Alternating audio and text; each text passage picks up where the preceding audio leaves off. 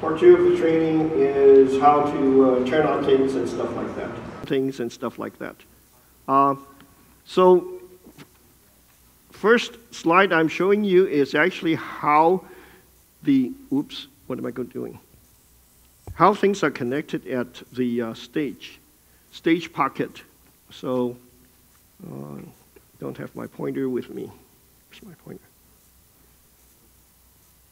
So I say there are three stage pockets, uh, stage left, stage center, and stage right. Um, what I'm showing you is, oops, it's the other way, is stage left, SL, and here we plug in the drums and the bass guitar, and then a vocal mic for a um, female vocalist. So uh, basically, each of these pockets has, has four connectors for audio. The rest is kind of like Cat 5 and other things which you don't see too clearly here. Now, so there's a catch. This guy, all four channels are used up, which is fine. Uh, eight more someplace else. Okay. Uh, be careful when you see a spare. If you see a spare, it doesn't mean that you can plug a microphone in and it, it, it can give you a sound. Uh, you have to kind of patch it by the wall and then make sure it goes to it goes correctly into your mixer.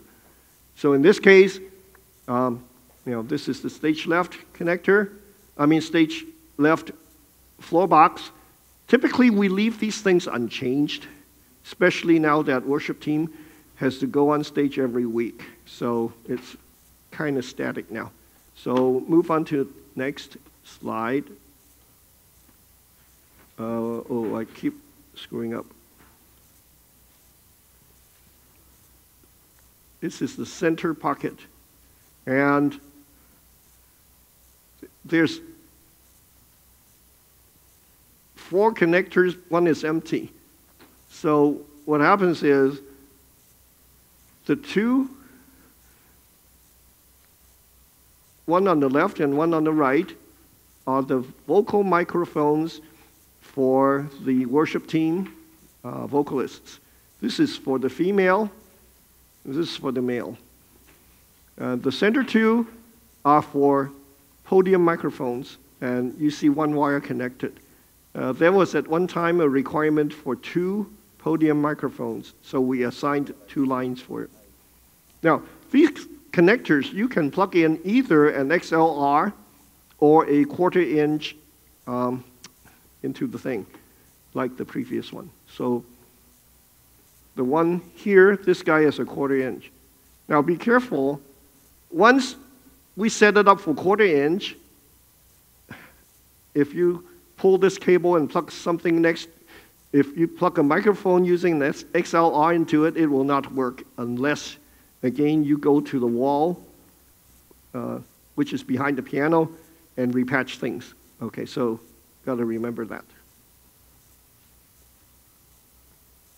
And I will move on to the stage right connector or the, the stage right pocket. Um, I have two keyboards and there are two quarter inch cables here. And then one XLR, and this is a microphone wire uh, cable for a male vocalist. And then this is not used, not assigned, sorry, and not connected. So if you need to use it someday, you, you want me to connect up to the uh, HDMI. Okay, thanks. So give us a second. We're doing some last minute adjustments.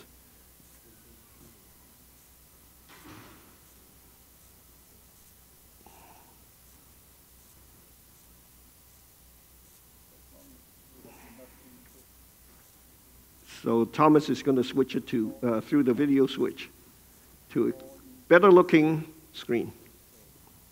Okay, so you probably can see it clearer. Two keyboard cables, quarter inch, and a microphone cable. Okay.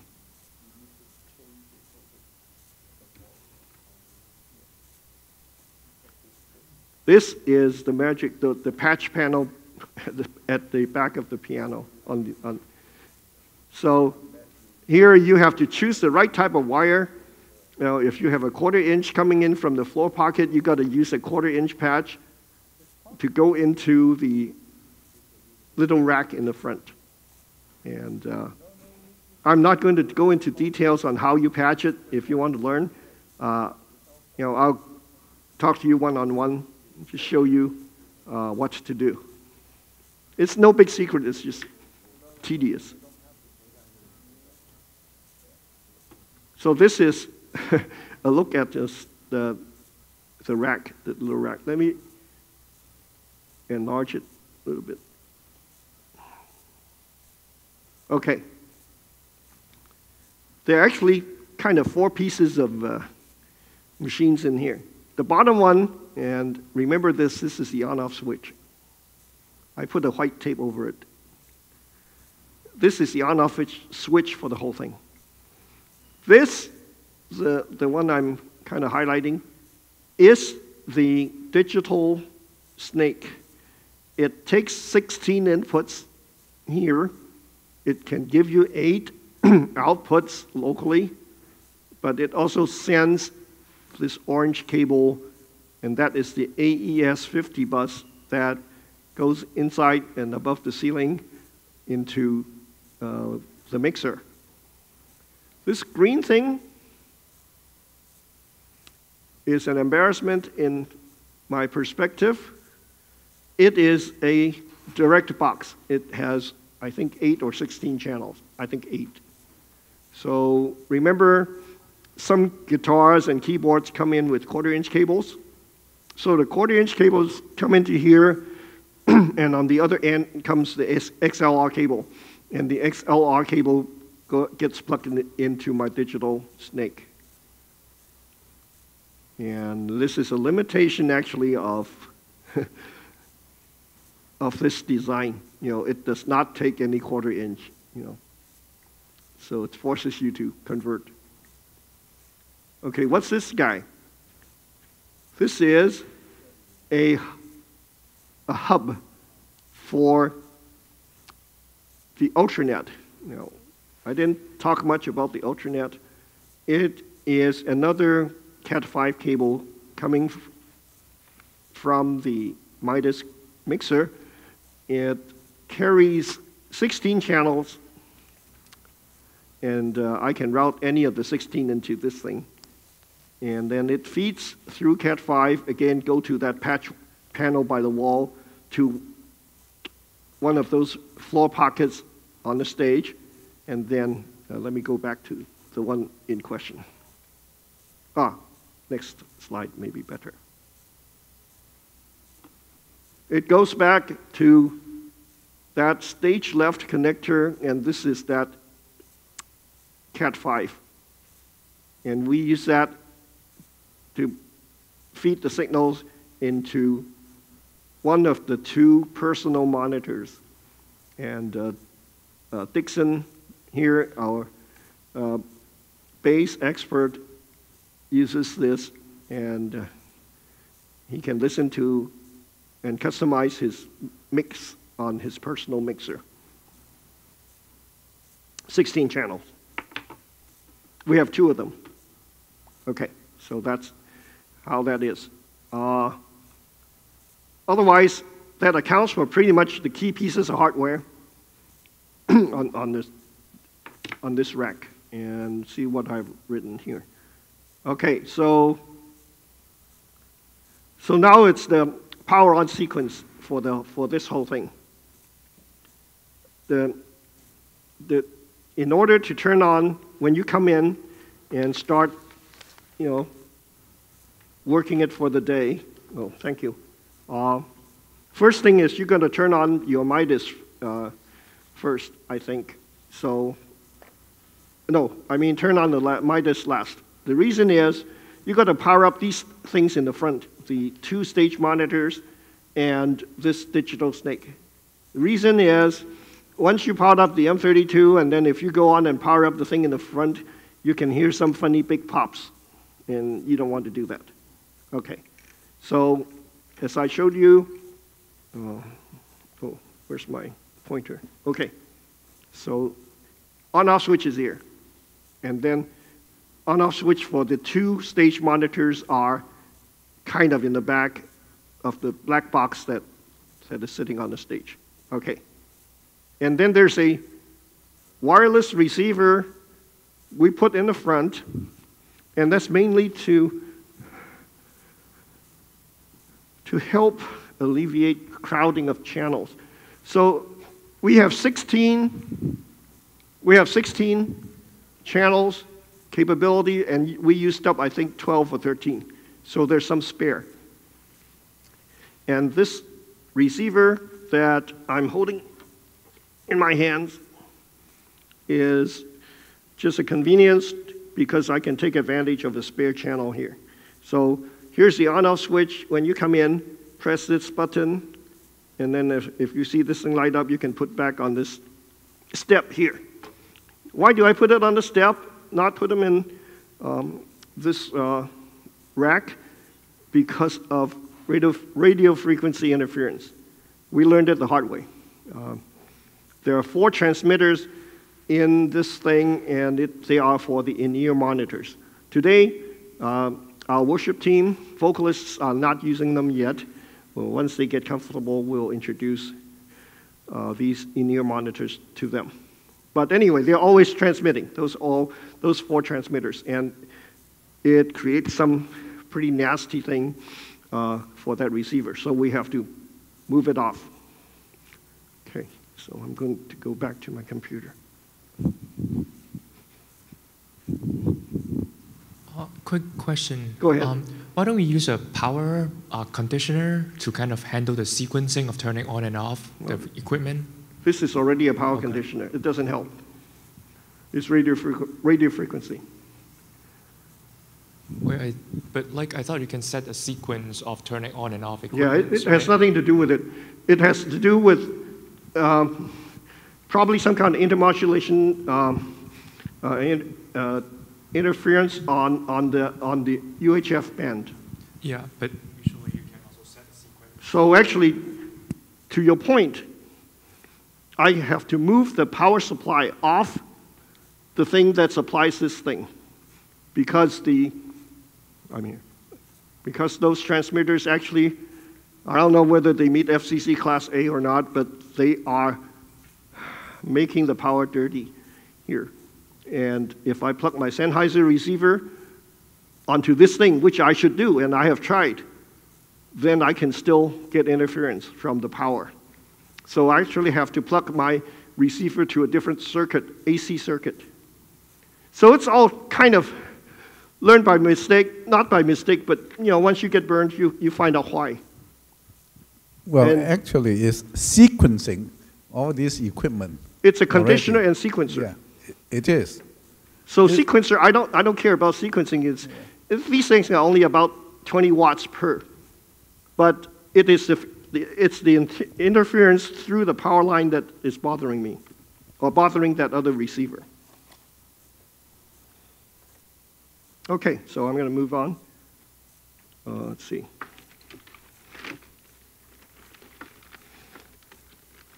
A little bit of housekeeping here.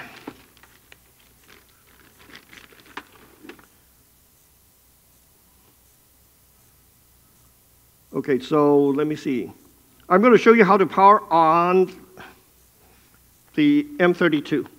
Um, oh, I need Thomas. Oh, great. The power switch, believe it or not, is in the back. So I have to reach, okay, to the back, and you can feel it. Uh, you can also come, you know, after the show, come, come by and take a look at where it is. So reach over. Uh, first, I'm going to power this thing off.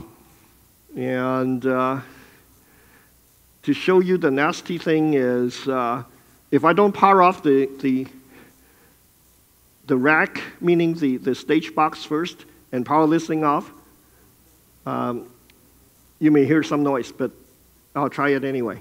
Um, so to power this thing off, and, and actually I'm, okay, this is a, go, going to the last almost to the last slide, powering down. So next to last slide, powering down. And I'm, I'm, power, I'm powering down the M32. So how do I do it? Uh, I hope you can see. There's a button called the setup. I press it. You see a screen. Oh boy. I, let me zoom.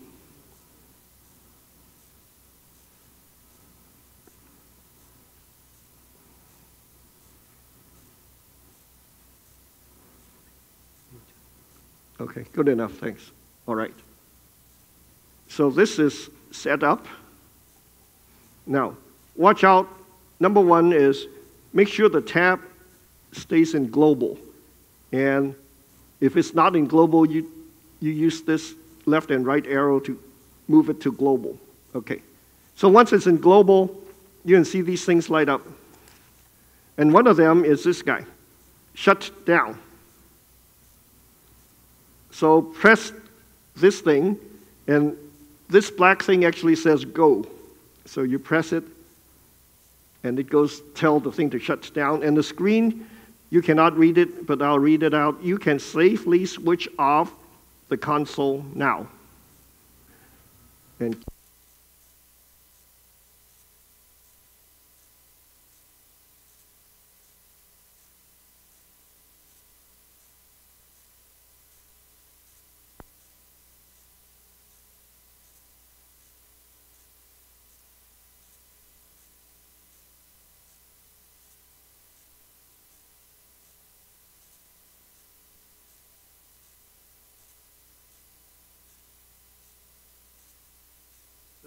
air. Okay. Now I'm back. Okay. Um, so now I'm kind of going back to my power up sequence thing.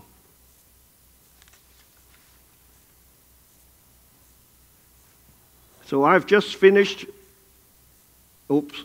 Uh, Thomas, I need you. Oh, okay. I just finished the turn on the Midas M32 thing. Now I'm, I'm going to do loading of scene. And uh, we have stored uh, three scenes. It's called worship and um, praise team and choir. So those are the three scenes stored. And I'm going to load when the first thing, you know, you start Sunday worship is you load the scene called the worship. And how you load the scene? This is the, the show.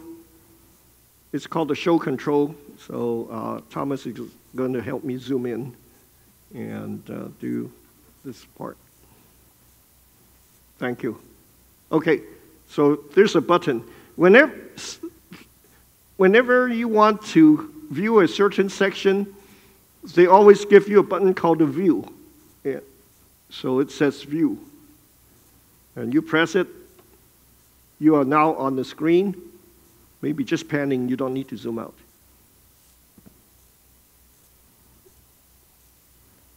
Okay, now you're, you see some, some things, and make sure you're on the Scenes tab, but usually they are.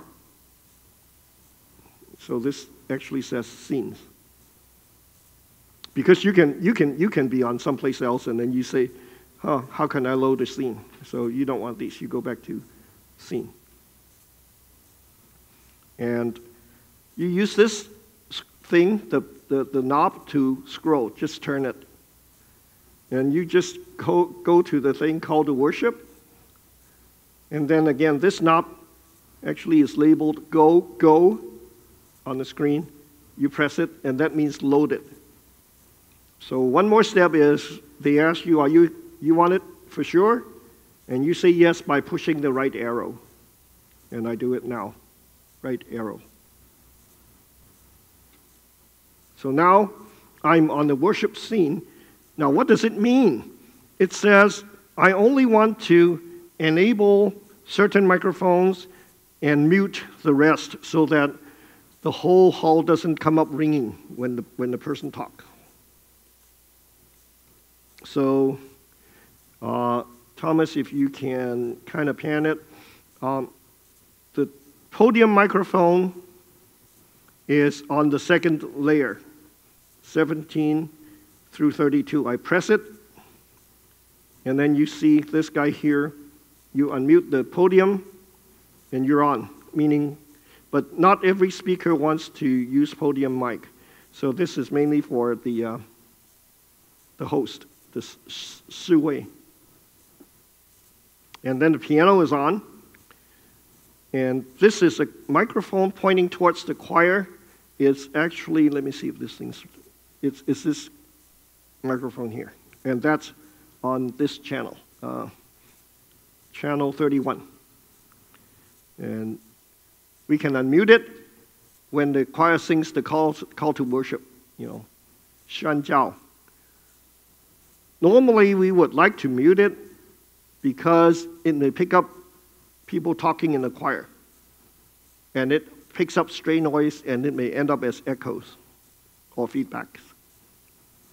So unmute it when you have to, and then mute it when, when it's done.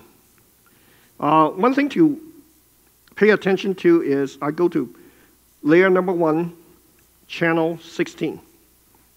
Now this is the micro, this is the channel that takes audio from the AV room, and that's where your um, Jiaxun comes out. So we only unmute it when Jiaxun is being shown, okay? Now I unmuted it. And actually you hear echo. If I turn it on, you hear echo. And that's because I didn't unmute it. Why, why you're hearing it? Because that computer is taking the audio feed and pushing it, pumping it back out to me. Yeah, or from, from the camera or both. But it, it's from the, from the PC. It's from the PC. Okay? So kind of, you learned it by mistake. You get burned a few times. Okay, now, see there's some, oh, uh, can you pan on this guy? Okay, and can you see the orange, orange LED if I speak loud? That's, that means he's giving me too, too much output. Now, you can mitigate it by lowering the trim, but it's pretty low. The trim is already set pretty low. So you just play it by ear.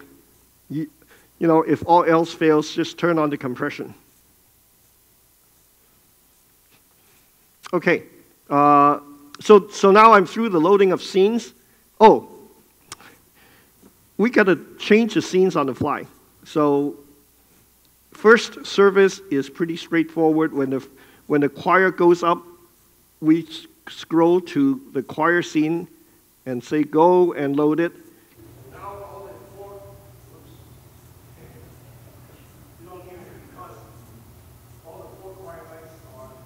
all the four choir lights are being enabled and cuts off the rest, and I cut myself off in the process okay?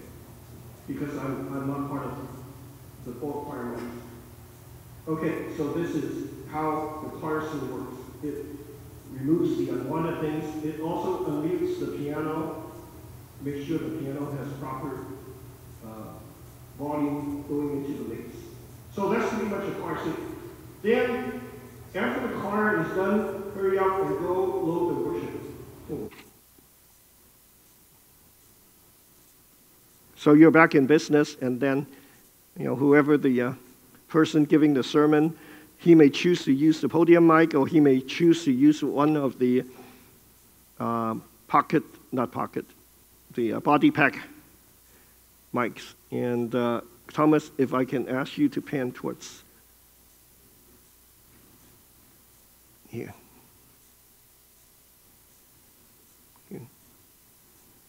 Can you do panel over here. So I have to go back to the first layer, and that is where any one of these three can be used or can be used by the speaker. Number three is that wireless mic that Reverend Kwan likes to use. So you have to unmute it, and then he starts talking, and then you, you, you adjust his volume. Uh, earlier today, the, the microphone that um, Pastor Cho is using is actually on here. And that's the same one I'm, I'm using now. You may notice I sound better than Pastor Cho. That's because I don't, I, am not using that uh, uh, lavalier microphone that's clipped on my shirt. I'm using kind of a head worn mic that is uh, much closer to, uh, to my mouth. Okay, so that's, you know, when, when you do more of these, you know the subtle differences, and then you, you, you kind of try to optimize and give, get the best results. Okay, so I have to move on. Where am I? The USB recorder, I'll do it just a quick. Um, uh, can I switch to the console? Okay, the USB recorder is here. You press view, you see a kind of a cassette recorder here. You plug in a USB drive, and then pretty much you can type, you can hit record, which is here, and this thing will turn and it records. So very simple. And mixed buses 11 and 12, I pushed this button, oops, here. Okay, I pushed this button. Remember, bus 1 through 8 is this button, and you can, you can see a whole bunch of different settings here. This is how I feed my mix into the USB recorder. Okay, so that's the USB recorder.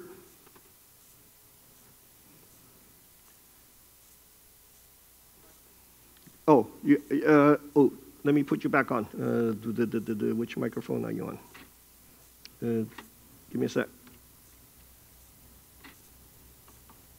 Not Okay, go ahead.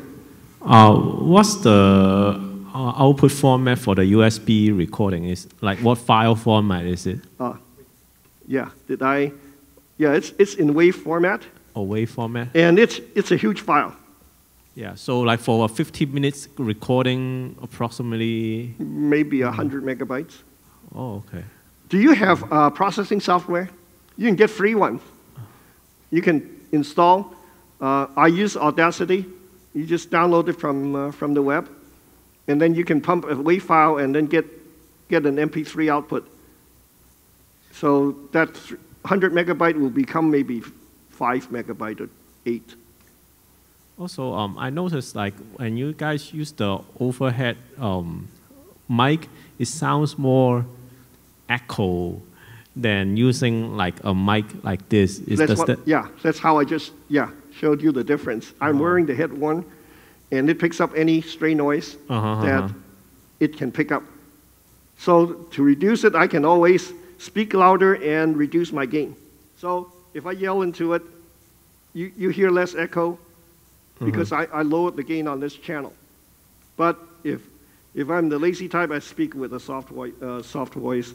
I got to pump up the gain. I got to pump up the gain. You, you can hear more of the kind of kind of like the rumbling in the background. So that's because the microphone is picking it up, not me speaking into it. Oh. Okay. So, so kind of, the, you know, checks and, bal- checks and balances. Okay, good point. Okay, so we are going to move on. And this is just to remind our coworkers, it always helps to check who is being muted, who is not muted, who is left on unmuted. That can hurt you. So I can only kind of remind you, but you have to kind of actually work on it to kind of appreciate it, okay? And the channel 16 audio from AV Room, that's the one that I just pointed out. Always muted, otherwise you will hear something you don't want to hear. In-ear monitors, yeah. So, as I mentioned, there are four channels feeding four in-ear monitors, and they are actually, you know, powered by uh, four transmitters in the, uh, in the rack up front. And those four monitors are here, bus number one, two, three, four.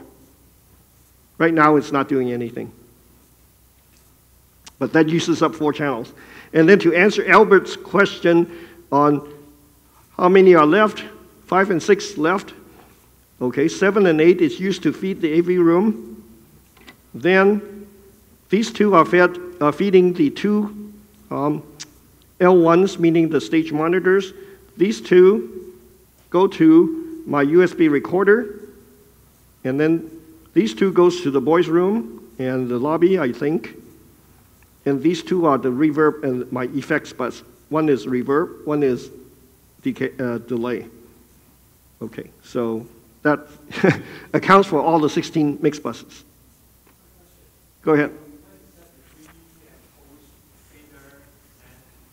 Key and post fader, you have to, you have to go and uh, set it up in routing or not routing, but one of these things. You, you pick your points. Yes, you, you, don't, you don't get a switch. So I'll, I'll show you later. It's, it's kind of like you've got to find the right screen to do it. We normally pre, prefigured it and pre-configured it, and that's it. Unless you have specific needs. Like my Ultranet is sent to the front pre-fade. So when Dixon picks up his personal mixer, he can do his own mix. Um, for the four, uh, where am I? Coming back to uh, four IEMs, the in-ear monitors. They pretty much hear my mix. If they don't like it, we give them the iPad and they can kind of uh, tune their mix when they're up there. So, we're um, sending them post fade. Sorry, quick question. So, so my personal monitor doesn't have um, like you, you don't adjust the the fader. It doesn't the- affect the- you. Okay. Right. Yeah, it's always full blast. And then you got to tune your own, uh, you know, each channel, each of your 16 channels. Yep. Got it. Thank you. Okay, so I mentioned there are two, bu- two buses that power uh, the two speakers. They are called delay. So delay is used in different ways on this mixer, and you have to be careful. The two, two speakers pointing to the rear of this hall is powered by matrix bus number one and two. So notice I press this last, the fourth button, and it actually uh, um, allows me to then control the matrix buses. And these, they are linked, and I can control how loud those two speakers operate. So normally we leave them at near zero, meaning zero meaning full blast. Zero dB is kind of like nominal output. Uh, all the way down is minus infinity. Minus infinity is zero gain. So the log of zero is minus infinity. Log of one is zero. Okay, uh, so the reverb and delay. So this is a fancy part. Uh, you know, one of the big pluses of the digital mixers is it gives you these free effects machines. And I'm just going to do a quick demo of how you enable the delays. So the delays and uh, reverb, which is on buses 15 and 16. So notice I press the third button, which allows me to control bus, buses 9 through 16, and then 15 to 16 are these two. 15 is reverb, delay is 16. Now, so let's say I want to hear my delay. And what does it mean by delay? It's actually an echo. Uh, you, you adjust the amount of delay, and then your, your, your, your, your ghost like voice will come back, you know, uh, doing, doing something. Now, why don't you hear any delay? Because this is only part of the control. So the, the other control is actually here in what is called the DCA, which is this first button. And uh, if I don't enable this guy, you don't hear a delay. If I enable it, you, you may hear it, but I got to put, put this channel in. And I may not have um, configured this channel into the delay. But anyway, uh, let me see what it is.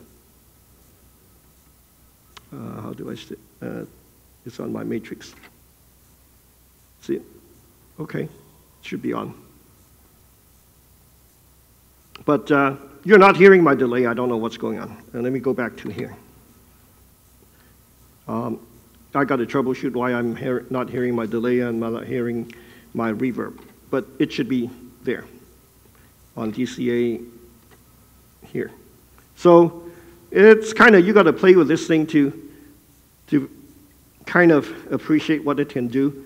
Right now, I think it wasn't configured for my microphone and I can't send, send you a delay. So delay is actually, in, in the effects section, is actually an echo. And reverb is just kind of like a vibration, kind of uh, extension of, of what you're talking and make your, make, your, make your voice a little bit rich and uh, resonating. Okay. Uh,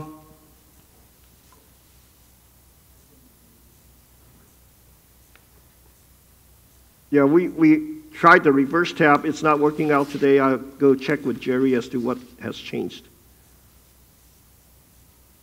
And I'm not going into the FX2. It's actually on the effects tab, but it's pretty fancy and um, and you got to pick FX1 is your delay, and then you can fine tune the parameters on your on your on your reverb. And then if you go into FX2 here, then it's the delay.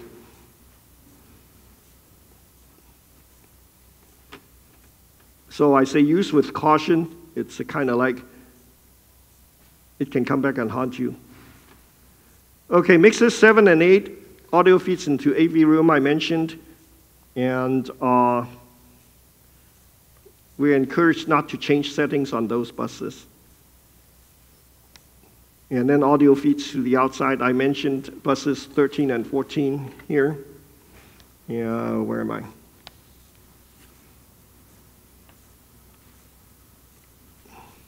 Buses 14 to facilities. I don't know, Albert, do you know if they have connected the, uh, the paging speakers yet? Yes. Yeah. Okay. Yes, they have. Okay. So we'll leave these up and supposedly, I don't know why we, I have to control the paging. I thought paging was controlled by the, somebody in the office. They have a control also. They have a volume control. Also. So I'm not going to get into that Yeah. because usually it's not part of our job to, uh, to do paging. So we pretty much covered everything. Oh, one thing I want to show you. How do you EQ? And uh, let's see. Ken, what c- microphone do you have? I have the red uh, hand, uh, Sennheiser. Sennheiser Red. Okay, so you're on here. So let me try to do something bad here. Uh, I will go to the EQ screen, and if I can ask. Okay, so so now we are panning onto EQ screen on your channel, which is a Sennheiser Red microphone. And uh, right now, I have pretty low gain, so when, when Ken talks, you know, there's no ringing, no feedback. So let's say someday we're doing uh, newcomer wel- welcome, and uh, he doesn't hold up the mic as, uh, you know, most of the rest of us, and I got to really, really turn up the gain. So I'm going to turn up the gain now.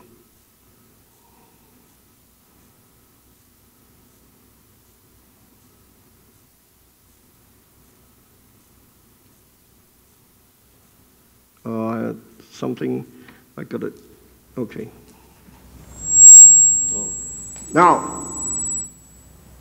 Okay. See that? You hear that now?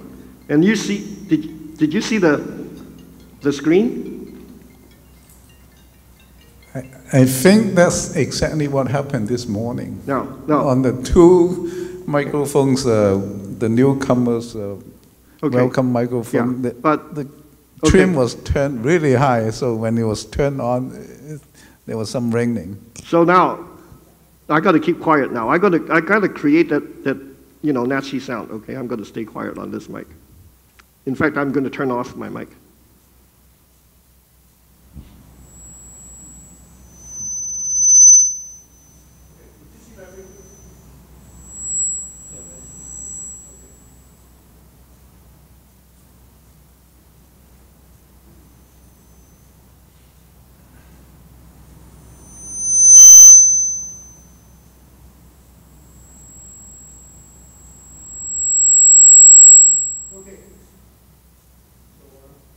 Turning on my mic.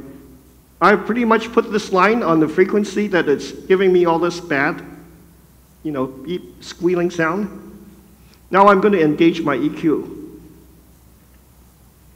And I'm going to drop the gain on that channel. I'm going to narrow.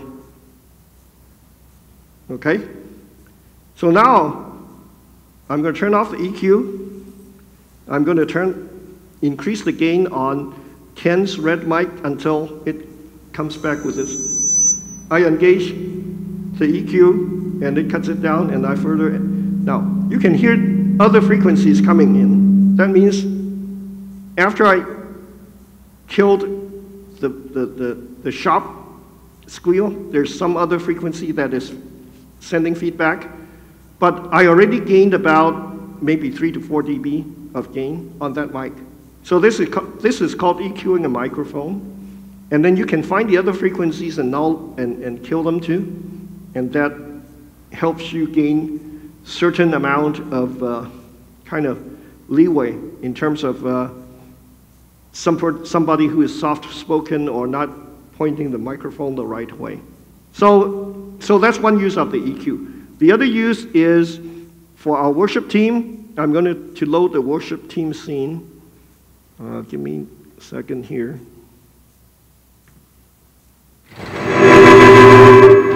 Now, we can always get burned by not muting the, uh, the microphones the right way. So let me see who, who I haven't muted.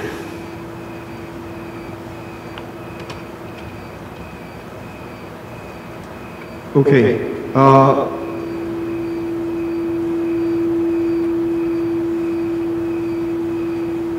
where is that noise coming from? Uh, worship team should be me. Oh, remember that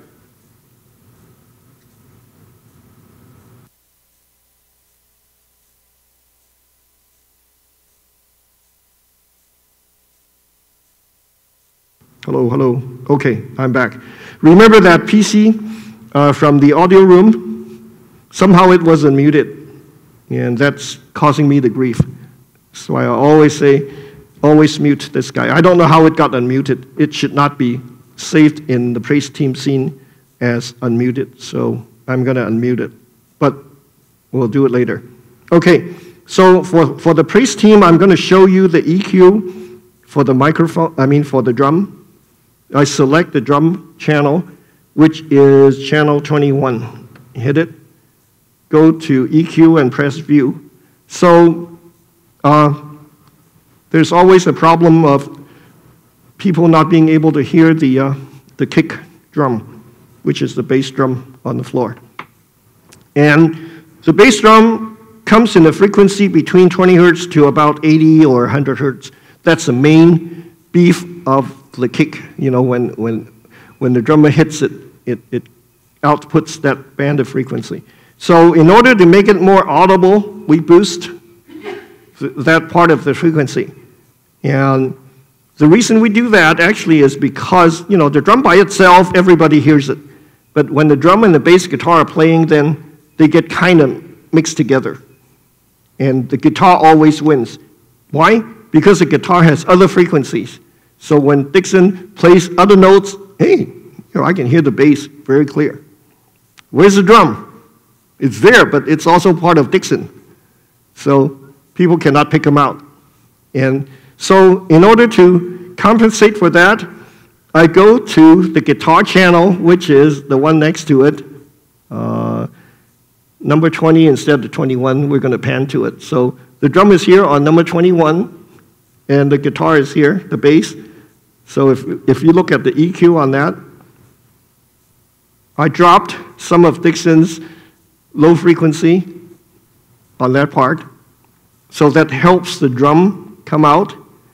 But everybody still hears the bass guitar. It has lots of other frequencies that come out from the guitar. You know, guitar can have a whole bunch of notes. So that's how, that's one way uh, most of DJs are actually overcoming that problem. It's kind of a very common problem that is kind of pretty well documented uh, if you go into the literature. So I'm just learning. Uh, and then the room, the room acoustics have something to do uh, with messing things up, and I cannot resolve that at this time. It's kind of like everything bounces back and creates another kind of low, low frequency. I call it hum, but it's not a hum, but it, it just kind of feels like a hum. So that's pretty much uh, how we do EQ. We, we, we use it to help us whichever way we can. Oh, let me put, put your, uh, let me go back to my worship scene so that the regular mics come back on. Give me a sec. Uh, okay, give me a sec. Okay, let me see if your mics are on. Uh, unmute who? Unmute this guy. One, two. Okay, see if you can. Oh, Okay. Testing. Okay. So um, you- earlier you mentioned you put compression on the drum. Would that affect the EQ of the drum? Yeah, the answer is no. No. what happens is it gets compressed only when it exceeds the electronic limit of the channel. I mean, that's how we set it.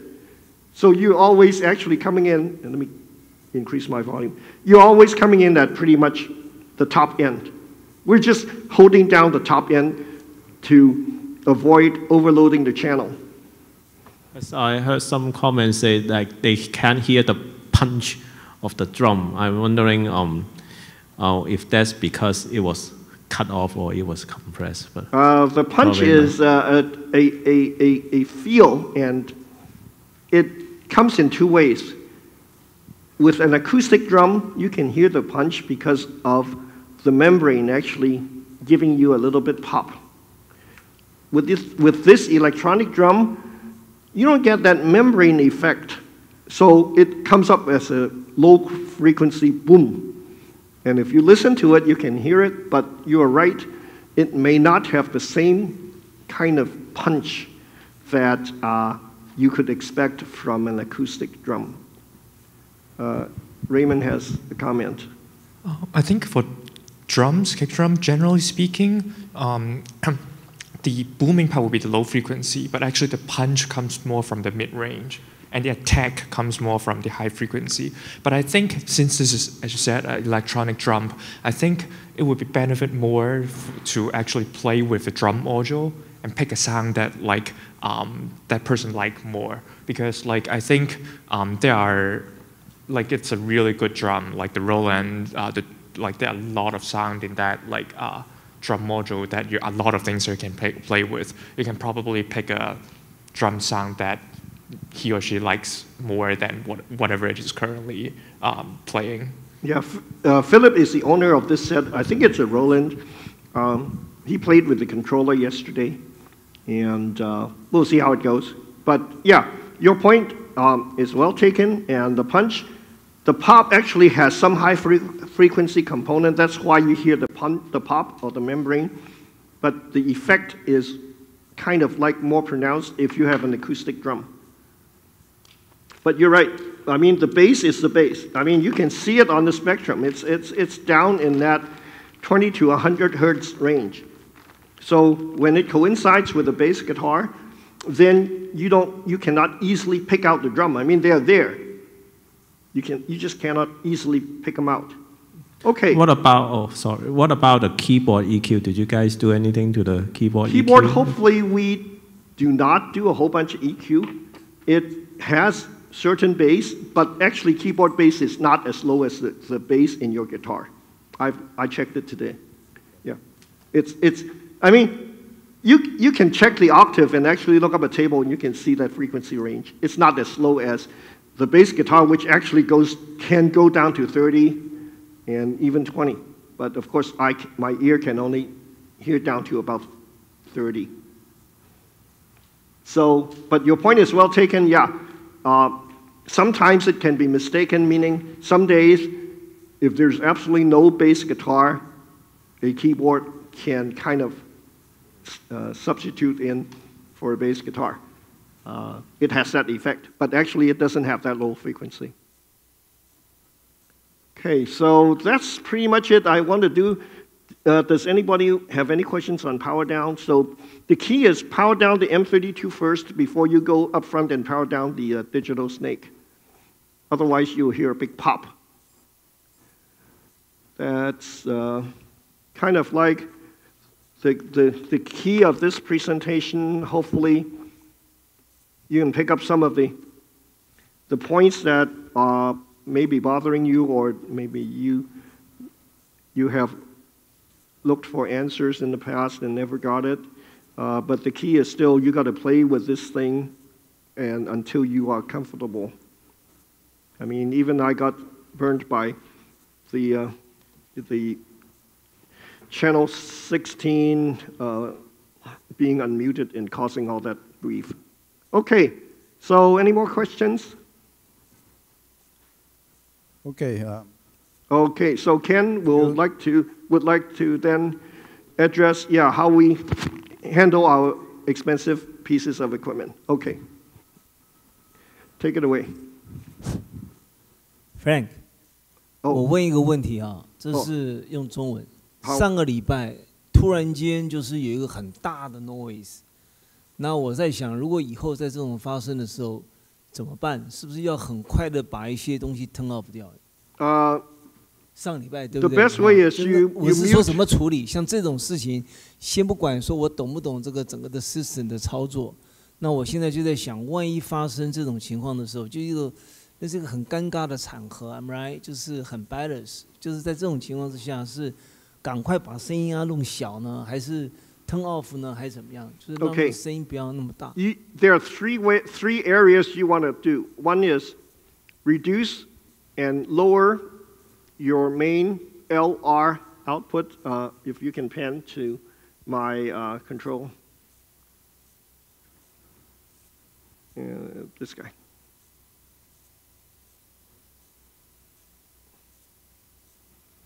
Okay, this is the main LR. So this output controls all speakers in the hall. It does not control the subwoofer. It does not, uh, it does control the two delayed rear speaker. So when you hear a loud noise, you want to cut it off, mute, nobody hears anything. There are two areas you, that can bite you. That is the two stage monitors up front. It can also make some noise. There, unfortunately, then you'll have to go to bus uh, 9 and 10 and either mute them or lower these two faders.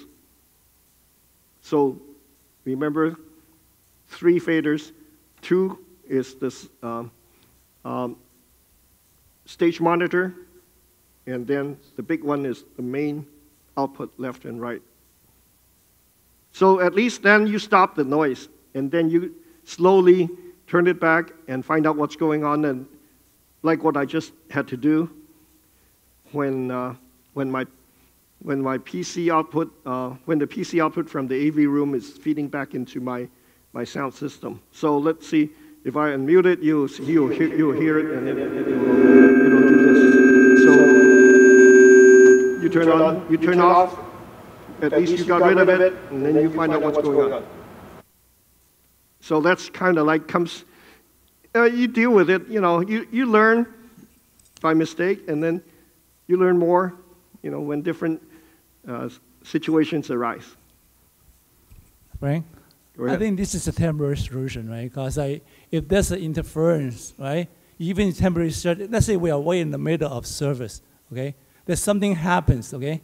And then you say, okay, I'm going to temporarily shut it off, but as soon as you turn it back on, the, in, the interference is still going to be there. Well, as I say, you turn it off, you ease it back up, and then you look at which channel is giving you grief. you need to yeah, react fast. Yeah, there, there's no magic. Knowledge is your best tool.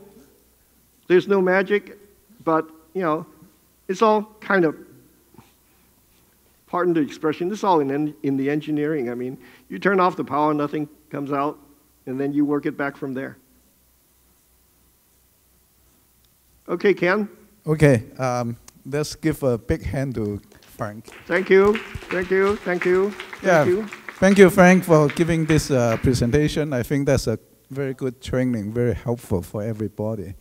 So uh, the following, uh, if you are not from the audio team, you can you can excuse. Uh, I want to uh, just talk to the audio team a little bit for 10, 10 minutes, okay, or less.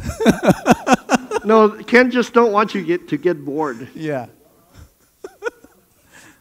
No, okay. Albert, you have to you have you have to stay. You don't get away easy.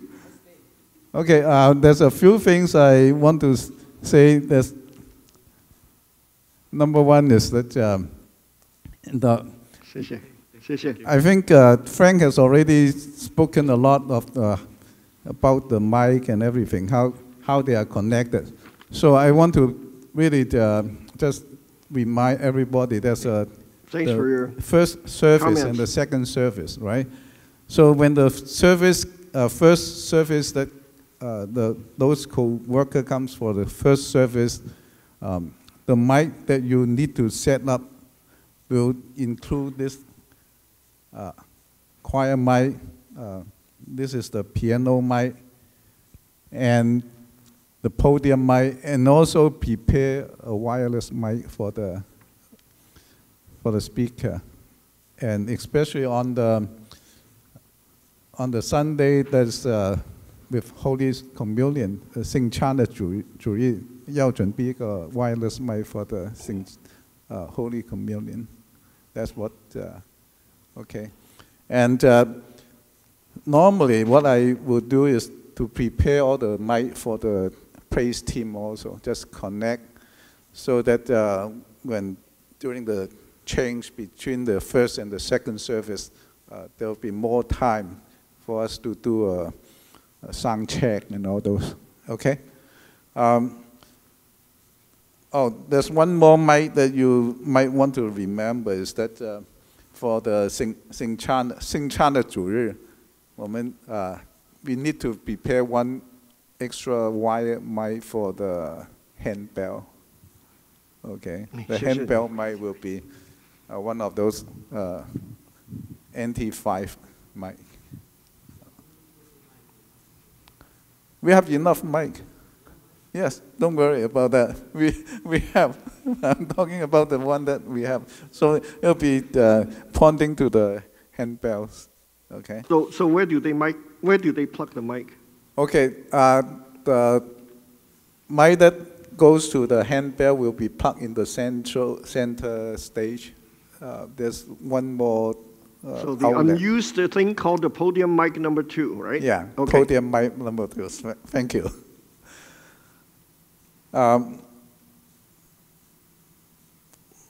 what else do we? That's that's for the mic. And also, we have a special assignment how the mic are being uh, stored in in the drawers. Okay, so if you comes in, look for the mic, the wireless mic, the handheld we put on the second drawer on the The big right hand side, the big one. The wire mic we'll put on the third one, the bottom. the bot, bottom one. So if you, after you use it, we put it back the right place, and next time you'll pick it up from the right place. So you won't be, you won't have to look around for, for different mics. For the belt pack, we put on the uh, left hand side, the first drawer. Okay, the belt pack. Um, there are batteries, rechargeable batteries. As much as possible, please use the rechargeable battery. Okay, because we are, we use a- lot of battery every time we have a lot of uh, wireless mic. So every time after use, please take them out and put it on the charger and recharge them. We have one charger. I think we might need to buy another one. Yeah. Each mic we need two. Yeah. So there are two bed, two bags here. One says need recharging. So those that have been used uh, put in the charger or put in this bag. Okay, if the charger is full, put in the bag. And this one will put in the new one or the charged one. Okay? So,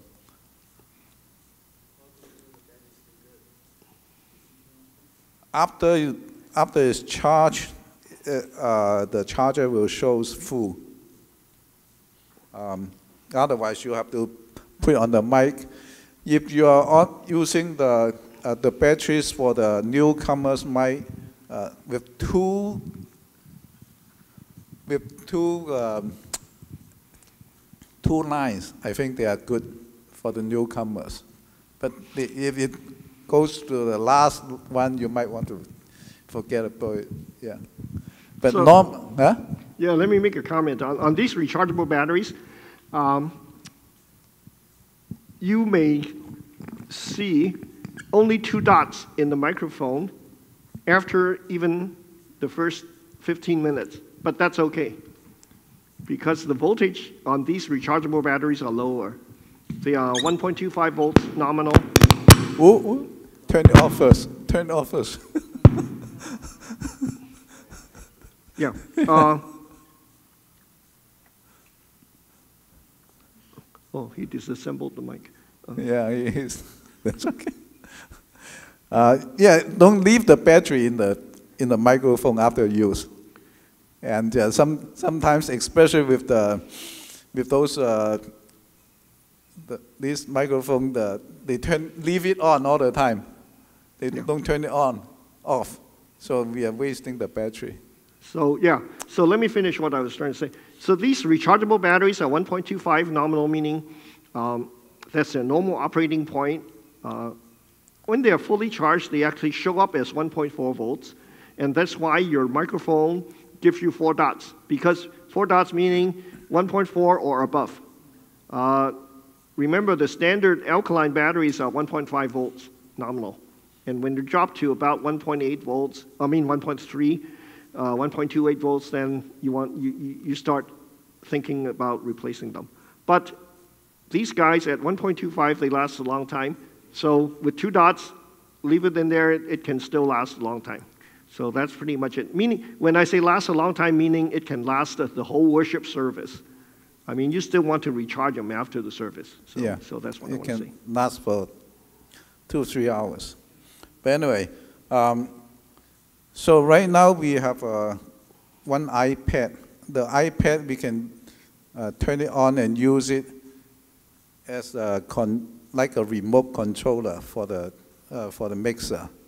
So we can use it and walk around and um, check on the, if you go to a certain corner that you can't hear the voice very clearly, you can use it to do some adjustment. Uh, that's uh, very helpful. Sometimes I do it as a, a parallel uh, help, helping the, the main uh, controller. So assuming he's looking at the first layer, I can use it to look at the second layer because we have uh, a microphone that stays on the second layer and the first layer, and sometimes it's really uh, it's not fast enough to go to the different layer to do the muting or unmuting. So you can use that as much as what you can think, what you can imagine, and use it, utilize it to help the uh, help the flow going on smooth.